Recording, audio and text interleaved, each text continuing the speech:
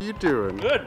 Will Forte, here from Saturday Night Live and uh, that show Last Man on Earth. So he's coming to Largo. What kind of pasta are you having? It's a meatball. It's delicious. And I guess it was so good, he's in the parking lot with his to-go box eating it. But why don't you just stay and finish it then? And we go, was it from inside? No, somebody I just took pasta from a stranger.